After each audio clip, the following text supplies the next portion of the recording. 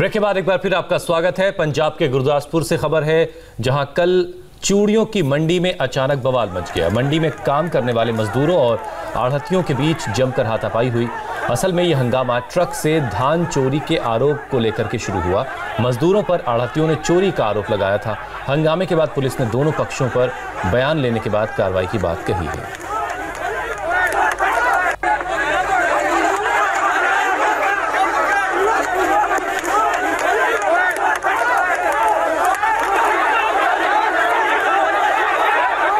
तो ये तस्वीरें पंजाब के गुरदासपुर की हैं। और वहाँ की चूड़ी मंडी में मजदूरों और आढ़तियों के बीच ये हाथापाई हुई। आ, आरोप था धान चोरी का जिसे लेकर के ये सारा बवाल शुरू हुआ। और जिसके बाद मजदूर और आढ़ती आपस में उलझ गए और हंगामा काफ़ी बढ़ा जिसके बाद पुलिस को दखल देना पड़ा और पुलिस ने आ, कहा है कि कार्रवाई की जाएगी। दोनों तरफ़ के बयान दर्ज किए जा रहे हैं।